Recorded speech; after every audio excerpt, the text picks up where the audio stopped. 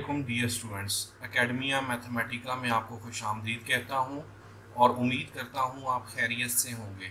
आज हम practical geometry का जो टॉपिक स्टडी करने जा रहे हैं, वो है construction of rectangle when two sides are given तो टॉपिक स्टार्ट करने से पहले मेरी रिक्वेस्ट है कि आप मेरा चैनल सब्सक्राइब करें और बेल आइकन को ज़रूर दबाएँ, ताकि मेरी आने वाली वीडियोस आप तक बर वक्त पहुँच सकें। मेरी इस वीडियो को लाइक करना और कमेंट करना मत भूलिएगा और टॉपिक को अच्छी तरह समझने के लिए इस वीडियो को मुकम्मल देखिएगा। तो हमारा आज का टॉपिक था construction of rectangle when two sides are given हमें रेक्टेंगल या मुस्ततील जिसे उर्दू में कहते हैं, इसको हमें ड्रॉ करना है। जब इसकी टू साइड जो हैं वो दी गई हों, इसको हम एक एग्ज़ाम्पल के ज़रिए जो है वो शो करते हैं। एग्ज़ाम्पल हमें दी हुई है कि कंस्ट्रक्ट करें a rectangle A B C D in which measurement of A B side four centimetre दी हुई है और measurement of B C side five centimetre दी हुई है। तो आसान है, मुश्किल नहीं है। सबसे पहले हम क्या काम करते हैं कि ए बी जो साइड है फोर सेंटीमीटर उसको हम जो है वो ड्रॉ करते हैं। ये हमारे पास जो है वो ए और बी साइड जो है वो हमारे पास है। ये है फोर सेंटीमीटर जो है वो लॉन्ग है। ये हमने ड्रॉ कर लिया A B four centimetre next है ए पर वर्टेक्स ए पर या पॉइंट ए पर और पॉइंट बी पर 90 डिग्री एंगल बनाना है। तो 90 डिग्री एंगल जो है वो आपने बनाना सीखा हुआ है।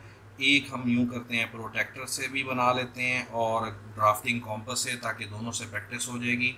क्योंकि प्रोटेक्टर पर ज़ाहिर बात है, ज़रा जल्दी काम हो जाता है। ड्राफ्टिंग कॉम्पस से 90 डिग्री एंगल बनाने के लिए थोड़ा टाइम चाहिए।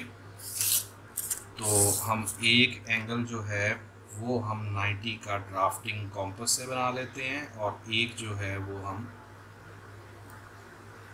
प्रोटेक्टर से बना लिया हमने। ये हमारे पास जो है, वो ए और जी जो है, ये हमारे पास एक परपेंडिकुलर बन गया ए जी रे ये ए जी है, जो कि यहाँ पर एंगल जो है वो 90 बना रही है। और अब हम क्या काम करते हैं कि जो दूसरा वर्टेक्स बी पर जो हमने एंगल बनाना है, वो हम ड्राफ्टिंग कॉम्पस से बना लेते हैं, ताकि हमारी प्रैक्टिस हो जाएगी कि किस तरीके से प्रोटेक्टर पर बनाते हैं। 90 डिग्री एंगल और कैसे जो है वो हमने ड्राफ्टिंग कॉम्पस है, उसके लिए आपको पता है कि बी को हम सेंटर मानकर और सबसे पहले एक आर्क बना ली।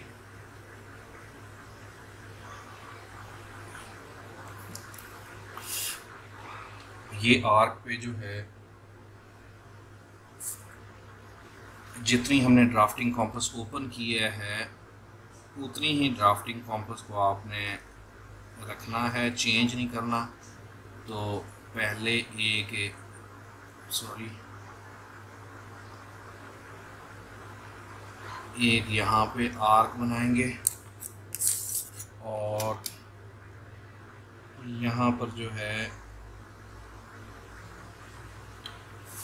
एक आर्क जो है वो इस जगह पे बन जाएगी।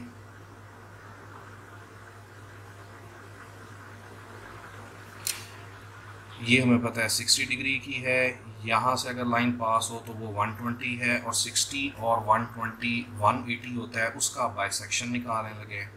उसके लिए हम एक आर्क यहाँ पे, इसको सेंटर मानकर और फिर इसको सेंटर मानकर जो है वो हम दूसरी आर्क जो है वो ड्रॉ करेंगे। और इसके बाद इनमें से पास होने वाली जो लाइन है,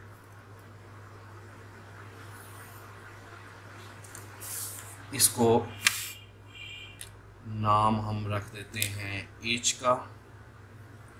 तो ये जो बी एच है, ये हमारा परपेंडिकुलर है और ये यहाँ पर जो एंगल बना रहा है, जैसे यहाँ पर 90 डिग्री एंगल बन रहा है तो यहाँ पर भी जो है वो 90 डिग्री एंगल जो है वो बन रहा है।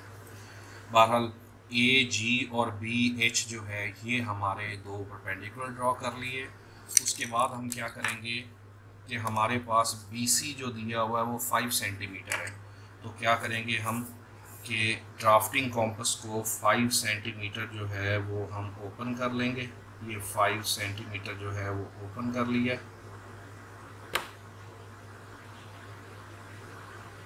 और फाइव सेंटीमीटर ओपन करने के बाद बी को सेंटर मानकर हम एक आर्क ड्रॉ करेंगे इधर भी। और ए को सेंटर मानकर जो है वो फाइव सेंटीमीटर जो है वो हमने इधर आर्क जो है वो ड्रॉ की। ये अब हमारे पास जो है वो बी और सी ये नाम अगर हम सी रख दें और इसको नाम हम रख देते हैं डी का तो हमें पता है बी सी की जो लेंथ है वो है फाइव सेंटीमीटर अब चूँकि ये रेक्टेंगल है तो आमने सामने वाली साइड जो है वो कॉन्ग्रेंट होती हैं, एक जैसी होती हैं तो ये भी फाइव सेंटीमीटर है। और लास्ट पे जो है वो हम डी और सी को जो है वो आपस में ज्वाइन कर लेंगे। डी और सी को।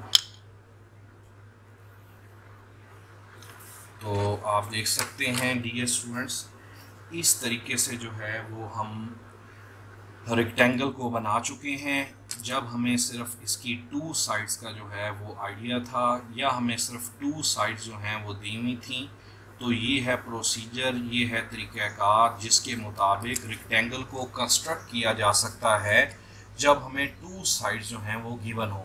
उम्मीद करता हूँ ये आपको क्लियर होगा। अगर इसमें कोई पॉइंट या कॉन्सेप्ट आपको समझ में नहीं आया तो आप मुझे ईमेल करके या कमेंट में पूछ सकते हैं। अपना ख्याल रखिएगा। अल्लाह हाफिज़।